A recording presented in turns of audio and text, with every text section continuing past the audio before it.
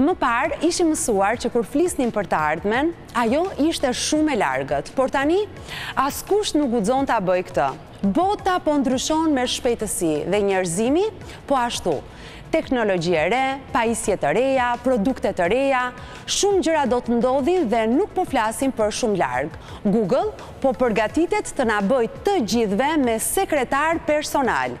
Elon Musk do ta bëjë internetin të aksesueshëm për tërë botën. Po prezantohen veshje që të bëjnë të ndihesh superhero, mjafton një buton dhe fluturon. Me luftëra që vazhduan e me të reja që shpërthyen në skenën botërore, dy mijë e njëzet e treshi ishte një vit i vështirë. Për një industri që supozohet se ka të bëjë me të ardhmen, ishte një vit tmerrësisht retrograd. Moda është në shumë mënyra në të njëjtin vend që ishte në vitin dy mijë e nëntëmbëdhjetë. Pra, të shkosh mbrapa ishte tendenca më e madhe e fashion. Për atë që lamë pas dhe për çfarë presim në vitin dy mijë e njëzet e katër, do të mirëpres tre të ftuar. Fatos Risto, drejtor programacioni në Vizion Plus. Përshëndetje Tosi. Mirëmëngjes, Mirdita. Mirë se vjen, gëzuar, vit të mbarë. Vetëm ne, rrugët bosh, aroma e fishekzjarrëve akoma nëpër rrugë, vetëm ne më duket që jemi në transmetim. Po, besoj që do të përcjellim gjithë energjinë që kemi nevojë për datën 1 janar për të nisur mbarë vitin e ri, gëzuar. Gëzuar dhe ti dhe gjithë të mirat, nuk e di çfarë të them. Si festove? Mirë, mirë, në përgjithësi në shpi nuk është se dal, nuk është se jam kështu fansi i gëzohet living room-it të shtëpisë dhe ja ku e kemi në living room-in e Vizion Plus të ftoj të rehatohesh sepse kemi shumë për të folur për çfarë presim për vitin 2024 Kam të ftuar edhe një mikeshë, ajo quhet Suadela Balliu, gazetare. Përshëndetje. Mirë se vjen. Përshëndetje. Gëzuar edhe vit të mbarë. Gëzuar vit të mbarë dhe për ju. Duket që s'të ka dalë gjumi. si festove? Mirë, tradicionalisht me familjen, këndshëm, me filmat e, e festave, mm -hmm. Krishtlindje, vit i ri. Ka një listë të përcaktuar që e ndiqni në familje? Një film që e shihni çdo ditë. Atë që e shohim të gjithë. Faleminderit shumë që je në Living Room-in e Vizion Plus. Faleminderit për ftesën. Dhe do të mirëpres gjithashtu Edi Oga, skenarist, autor programesh, kënaqësi e veçantë të të kemi në living roomin e Vizion Plus përshëndetje, mirë se vjen. Mirë se ju gjeta. Vit të mbarë, të ftoj të rehatohesh. Përshëndetje. Përshëndetje. Mirë, si je. Mirë. Gëzuar, gëzuar, gëzuar. Çfarë do të bëjmë këtë vit? A jeni natyrë që i bëni bilancet çfarë arritëm, çfarë realizuam dhe bëni një plan për ato që presin të ndodhin? Kur kam qenë i ri, domethënë që nuk isha që mendoja që isha inteligjent, po jo i ditur dhe i urtë, bëja plane. Pastaj isha inteligjent dhe i ditur, bëja plana dhe nuk më dilin, tani që jam edhe i urtë, nuk pres asnjë gjë, jetoj ditën, domethënë, të shofim nesër, të shofim këtë javë, ta mbyllim mirë, domethënë, nuk e di. Suadela, në cilën fazë je?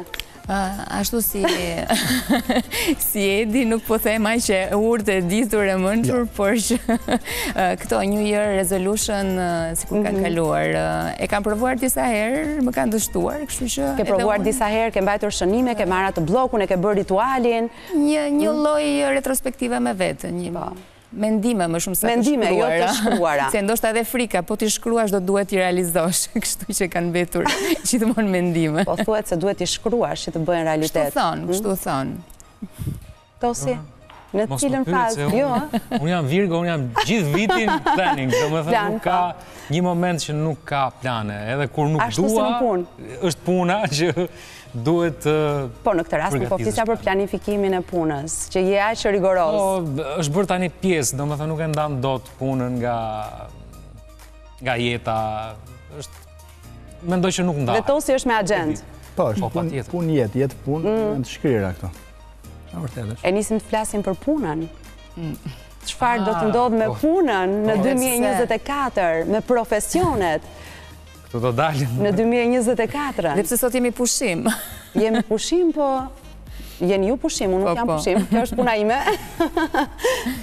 Interesant është që akoma njerëzit kanë, domethënë, është një lloj mendësie, një lloj botëkuptimi që duket sikur kjo dita e vitit të ri i pret me thikë gjërat, po. ndërkohë që vazhdojnë pothuajse njësoj, pra 31 dyshi, dhe treshi mund të ishin ngjitur me 30-ën, pa asnjë dallim.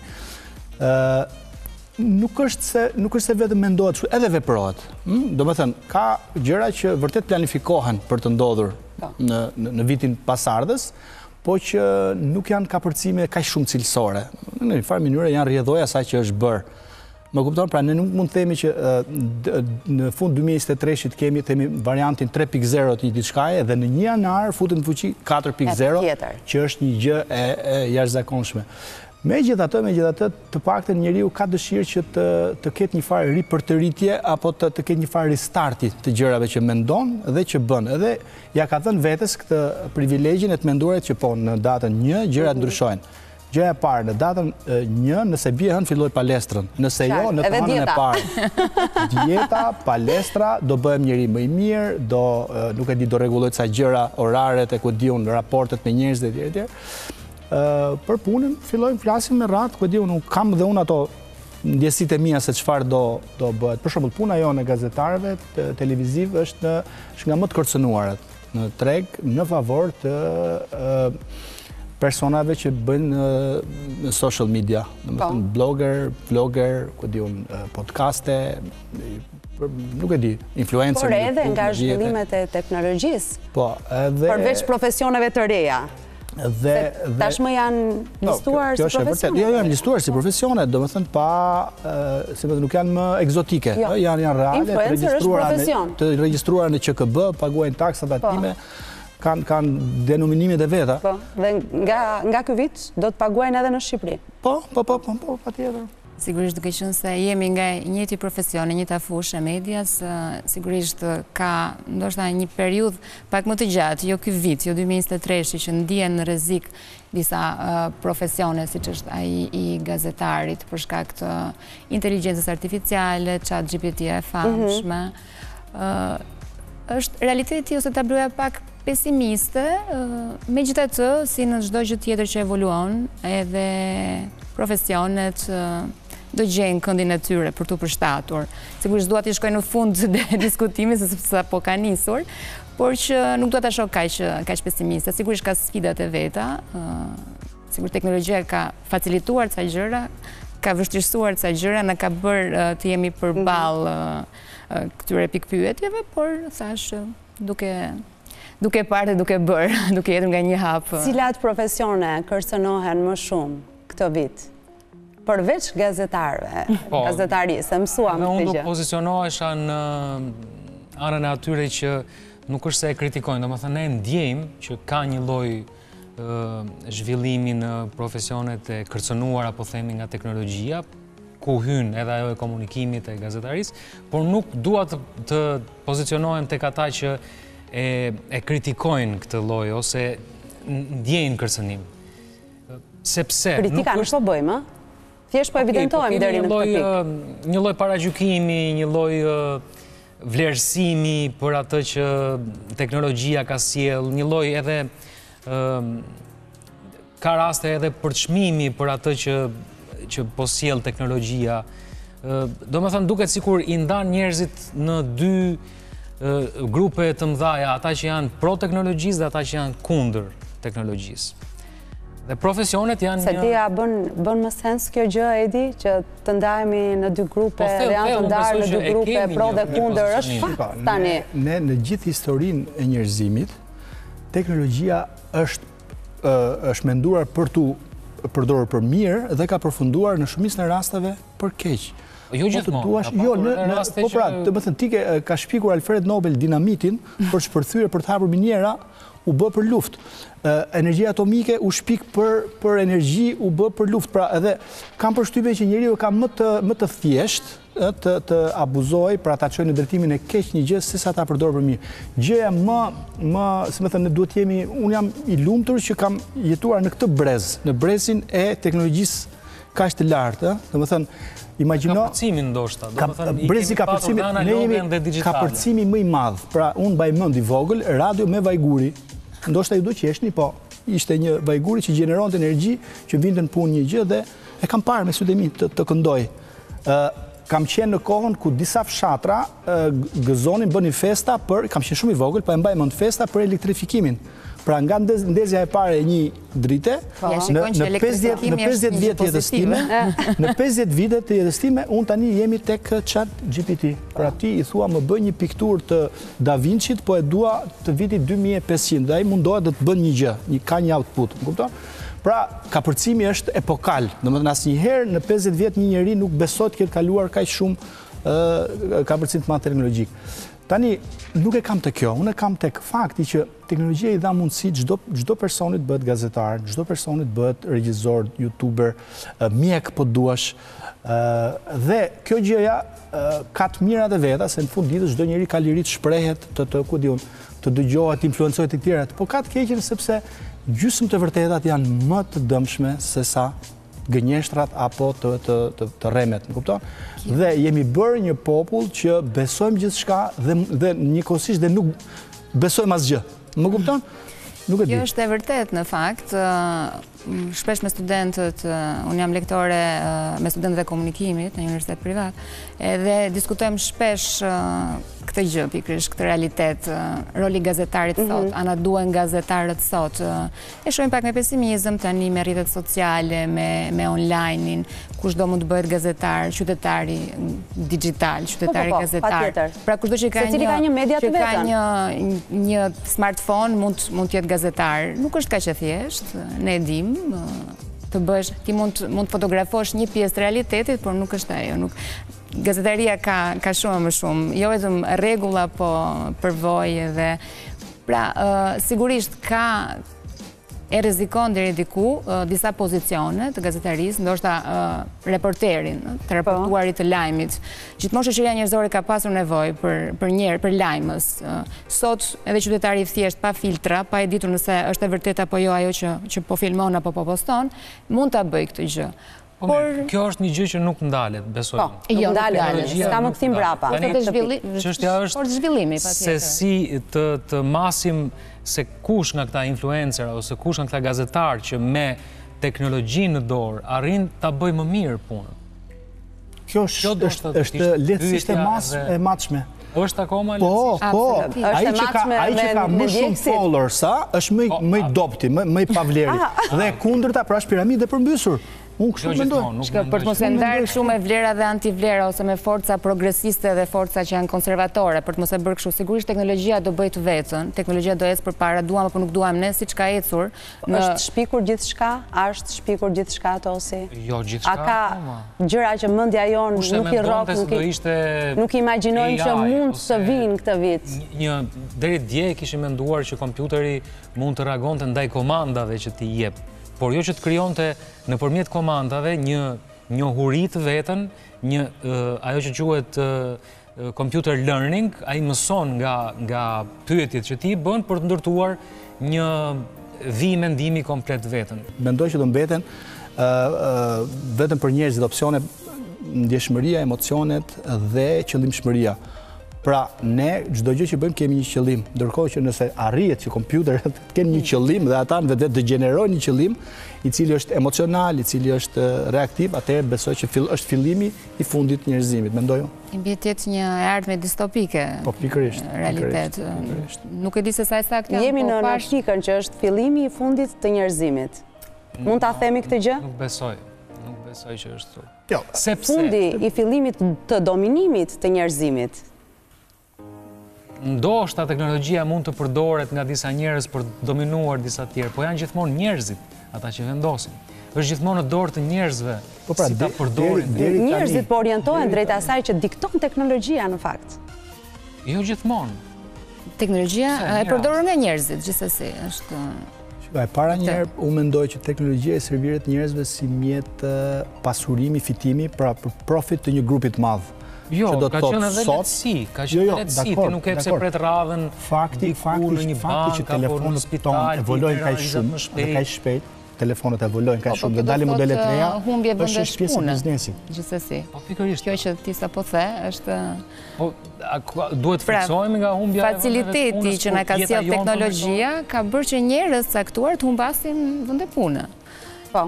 Siç dhe ka ndodhur me revolucione industriale të më po. parshme. Megjithatë, nuk ka njerëz që të bëjnë disa punë. Kjo është e çuditshmja. Pra në gjithë botën veriore, domethënë, unë jam habitur, Kanadaja, Britania, Gjermania, kanë të njëjtin problem. Nuk kanë forcë punëtore të kualifikuar. dhe disa punë që nuk do, nuk do t'i bëjë më askush, as në Shqipëri. Po. Pra nëse ti më përpara, kishe konkurencë hidraulikësh, elektricistësh, ku e di unë, berberësh. Të profesionistët të zanateve. Sot, sot këto punë duket sikur nuk do me i bërë njeri. Dhe disa nga këto gjëra mund t'i zëvendësojë teknologjia, disa më pak, kupton? Në politikë, çfarë pritet të ndodhë në dy mijë e njëzet e katër? Se është një vit i rëndësishëm. Liderët... është i rëndësishëm... Zgjedhje në Amerikë, zgjedhje në Rusi. është i rëndësishëm në kuadrin ndërkombëtar, e cili gjithmonë ka një lloj rezonance edhe në Shqipëri këto lloj ngjarjesh. Megjithatë, ne Kemi hyrë në një proces të pazakontë, pra flitet për një riqarkullim, rithemelim të elitave politike. Mhm. Të rendit të ri. Ne kemi qenë dëshmitarë edhe vitin që sapo mbyllëm, po domethënë që ndodhën ngjarje që ne nuk i kishim parë ndonjëherë dhe rrallëkush ndoshta dhe i mendonte. Kupton? Nëse vazhdon ky trend, ky trend do të kemi ndoshta një shoshitje, domethënë një shkundje të politikës, I vetmi merak që kam është është një gap, është një një boshllëk që nuk e di se kush do guxojë ta mbush, sepse unë vazhdoj të jem i mendimit që shumica e njerëzve që janë futur në politikë e kanë gjetur si rrugë të shkurtër përfitimi, gjithmonë në tridhjetë vjet. Ata që janë futur për ideal, domethënë për idealizma, kanë dalë shumë shpejt ose janë konvertuar edhe ata në përfitues. Kështu që vështirë që të dalin njerëz të cilët realisht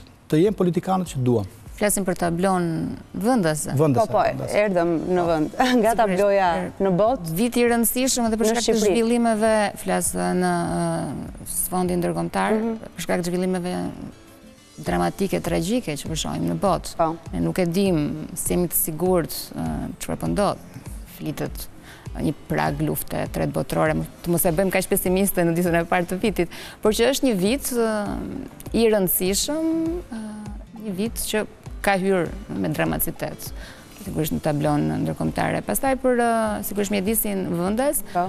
me sfidat e veta, me pa hyrë për të mos u futur shumë specifik politikës tani, por çka priten zhvillime, reforma në drejtësi, Po bën punën e saj, diskutimet janë, nuk dua ta them, sigurisht Edi tha që këtu i hyn në njerëz dhe për pragmatizëm politikës. Po, po mund të bëjmë një parashikim të asaj që pritet të ndodhë gjatë këti viti. Por që, sigurisht dhe një vit i vrullshëm, thashë, për shkak të reformës në drejtësi që ka filluar të lëviz, sigurisht e debatuar nga të dyja kahet politike, por që Do ketë zhvillime, do do dëgjojmë besoj gjëra që ndoshta nuk janë surprizë më për opinionin publik, se është përgatitur, besoj, prej 2016-s kur edhe u miratua reforma në drejtësi që priten. Po, dhe tani është Ky është viti, pra ky është momenti që ato që kemi dëgjuar gjatë këtyre viteve do të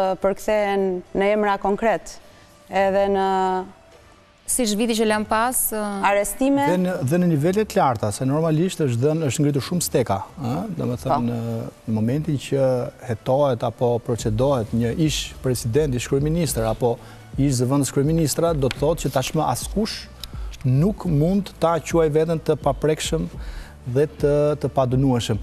Kjo më tepër se shpagim, pra ndoshta ndonjëherë keqkuptohet, ka njerëz domethënë që ndoshta kjo më mjafton. Mua kjo nuk nuk jo jo vetëm që s'më mjafton, po thjesht më duket edhe është një prekursor i asaj që do ndodhë. Pra kushdo që do futet ta di se çfarë ndodh nëse vepron si po. pasardhësit e vet. Faktikisht ishte e pritshme, sepse ishte një valë reformash në drejtësi që ka filluar me Rumaninë, Bullgarinë, Sloveninë, Kroacinë, Maqedoninë, Malin e Zi, kështu që ishte e pashmangshme mos ndodhte edhe në Shqipëri. Shqipëria ka specifikat e veta dhe dhe patjetër që kjo që po bën po ndodh në drejtësi do ketë edhe rezonancë në politikë. Hm, do ketë një ka një marrëdhënie shumë të ngushtë. Gjithsesi, shqiptarët tashmë ndoshta është realitet, të paktën kështu e kam kuptuar unë, janë distancuar nga politika e rrugës, nga, nga të menduarit politikisht për çdo gjë, ka një farë pragmatizmi dhe nuk e, nuk e di se si do riorganizohen apo se si duhet që t'u, t'u qasesh politikisht për të qenë aktiv. aktivë që të të ta zgjedhin vetë rrugën, do të qëndrojnë me këtë qeverisje apo do synojnë një ringritje një force tjetër, të re, apo këto që janë të modifikohen, po që për mendimin tim këto gjëra më tepër i pres në 2025-ën e andej. Jo në 2024-ën, se do jetë viti zgjedhor, kështu që 2025. Do të shkojmë në një hapësirë publicitare, rikthehemi sërish për të kuptuar në qoftë se Këtë vit, në dy mijë e njëzet e katër, a do të rriten rrogat, pra këto që janë shqetësimet reale të së përditshmes tonë?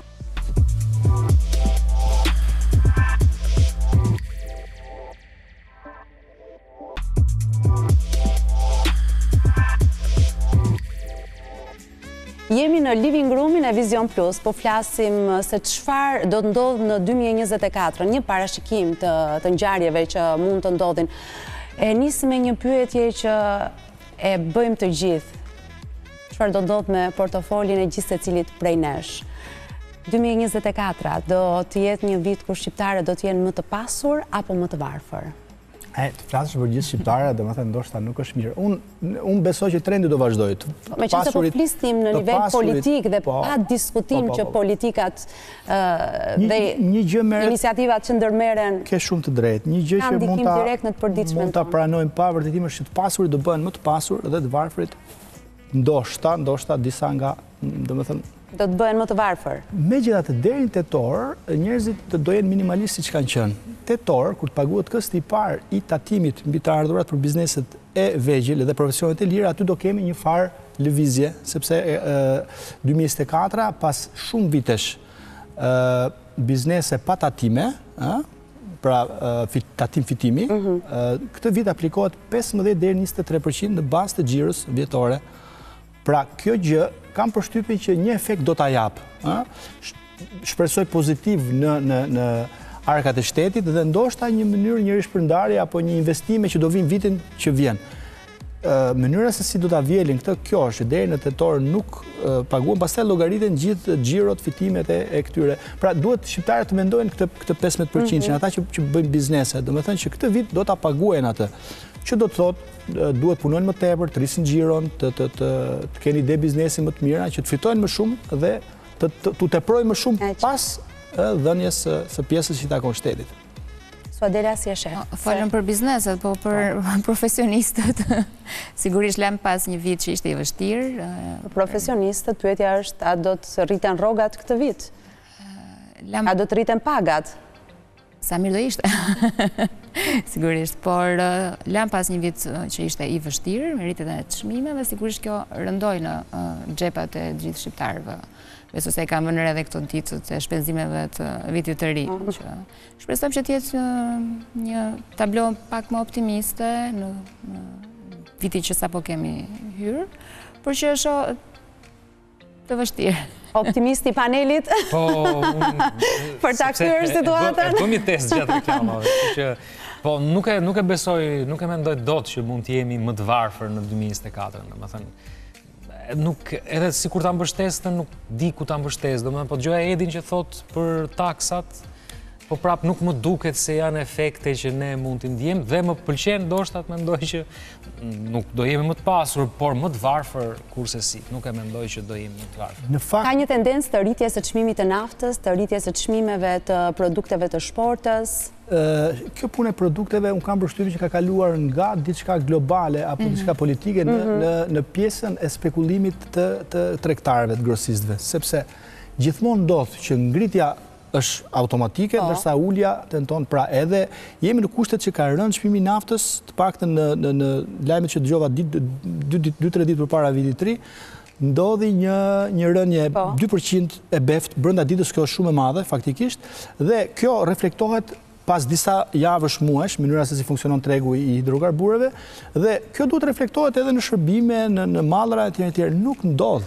Euro, euro, me, me shkëmbimin që ka, duhet që çmimet të uleshin. Çmimet kanë ndenjur në vend. Pra, ka një, ka, ka diçka paradoksale te kjo pjesë. Megjithatë, ka një një sens ose të paktën me intuitë apo me me deduksion apo me me të thënë është që në Shqipëri qarkullojnë para. Ndoshta është edhe pjesa e turizmit, që dashje pa dashje dhe ata që janë skeptikë apo që janë kundër kësaj duhet ta pranojmë. Po e ka patur një ndikim patjetër. Në mos dhjetë, tetë kanë qenë, më kupton? Dhe dhe dhe para lëvizin me siguri në formë euro, sepse fakti që mban atë, domethënë që është në kuotat më të ulëta do të thotë që ka më shumë euro në treg. se janë të zeza, se janë të turizmit, se janë informale, se janë, nuk e di se çfarë, nuk jam ekspert ekonomie, po para ka. Dhe në fakt, në fakt, një nga indekset e varfëri-pasurisë është pikërisht qarkullimi, jo pasja. Po. Pra nëse unë kam dhe nuk qarkulloj, nuk ta jap ty dhe ti të qarkullosh, atëherë ne mbetemi të varfër. Shpresoj që të ketë mekanizma që shqiptarët t'i qarkullojnë paratë dhe të ndjehen, mhm. jo të varfër. Ndoshta turizmi që prekëm e ardhmja e profesioneve. Po. Dëgjo, para disa kohësh një miku im zviceran më thotë pse nuk e shikon këtë turizmin se kam parë që Shqipëria këto vitet po. që vijnë do jetë on top si destinacion turistik. Suadela është duke menduar që ta lërë gazetarinë përpara se jo s'e kisha menduar po ma tha në fakt se pse jo të ishte një shteg. Prej zhvillimeve të teknologjisë.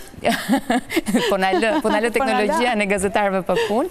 Por që duhen gjetur gjithmonë kështu, zgjidhje inteligjente.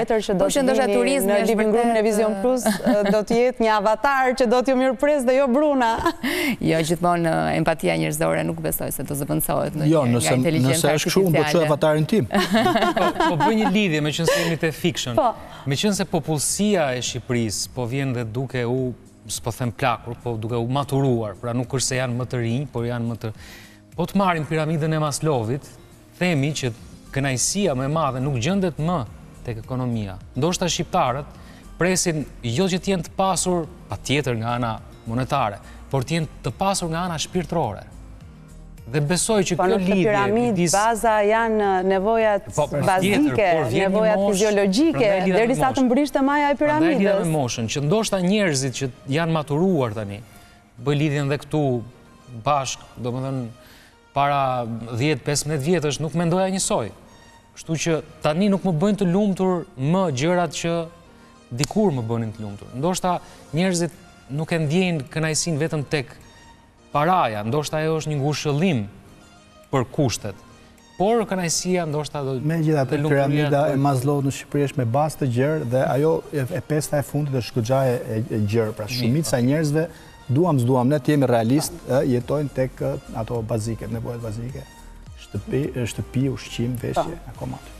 Për më tepër që bota është bërë kaq konsumeristë. Nga dritat e studios edhe pasi të kesh kaluar dhe të jesh i përmbushur shumë interesante në fakt qasja e nevojës pak filozofike, po. është shumë e bukur, na çon tek shpirtërorja, që është dhe një nga trendet këto spirituale të por edhe një nga profesionet Life coaching është një nga profesionet e reja që fillon në 2024, lind në 2024. Megjithatë lind si profesion. Po, bashkë edhe me mediusët, ose po them, jo anglisht, po, me mediatorët e familjes, sepse për fat keq, kemi edhe familje që nuk i rezistojnë dot kohës dhe kërkon lind nevoja për mediatorët e familjes, ata që kujdesen për fëmijët, që kujdesen për pronat dhe kujdesen për mbarëvajtjen e çiftit. Si është ky profesionist? Mediator familjar. Po, mediator familjar po. është një person i cili. I cili merret po. me kujdesjen e fëmijëve dhe të pronave në momentin që çifti ndahet. Që do bëhet përmes inteligjencës artificiale, nuk jo, besoj. Jo, pra duhet jo, inteligjencë po, pra, të menduar kritik. Njerëz, edhe life coach. Gjithashtu, pra, njerëz. Pra, trajner jete, njëri. Po, më fal, kjo paguhet 50-50 nga gruja dhe nga burri? Po, që duket. Ka profesione të tjera të reja që ndoshta do t'i po, hasim, do të jenë në listën e profesioneve në 2024? Social seller, për shëmbull, që tani dihet... Shitës? Po, shitës... Followers, likes. Shitës social, social seller. Pra që është në internet, kryesisht në rrjetet sociale. Po, çfarë shet? produkte. Edhe punëtorët e sigurisë, siguria në punë është një nga gjërat që po i kushton më shumë kompanive në botë, kështu që një punëtor i sigurisë në punë është një nga profesionet që do fuqizohet në 2024. Kur të bllokohen tubat e tualetit, kush do vijë? Hidraulik, unë po kërkoj Edi, që nga fillimi i takimit. Mirë unë që di ta bëj vetë atë punë, po. deri në një masë shumë të mirë.